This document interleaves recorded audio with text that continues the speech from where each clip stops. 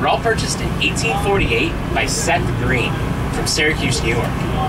Green was a marine biologist. He originally just wanted to buy the island where the house is, so he could use it as his own personal laboratory. Well, the owner of all the islands around us at the time was Andrew Cornwall. He was a lumber baron, and he'd already cut all the trees off the islands. So after that, he didn't really have any use for them, so he actually wanted to get rid of the islands